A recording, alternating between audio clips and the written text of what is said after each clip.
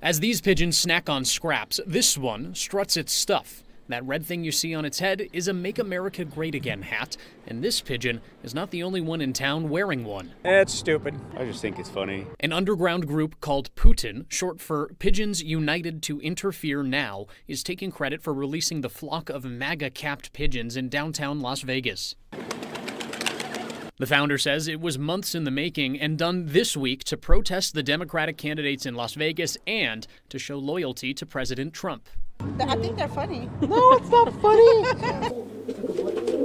But Mariah Hillman is not laughing about it. It's absurd. The whole idea is ridiculous. She runs Lofty Hopes, the Las Vegas Pigeon Rescue, There's a good chance that we might end up with a, a couple. And she's frustrated by the stunt and that there isn't a law that prohibits a person from doing something like this. It is not illegal. Pigeons are considered pests, so um, they won't do anything about it. There are a few city codes that involve pigeons, but a City of Las Vegas spokesperson says they're considered wild animals. There isn't anything on the books about putting hats on pigeons. Glue a hat to your head, glue a hat to your kid's head. I mean, it's the same thing.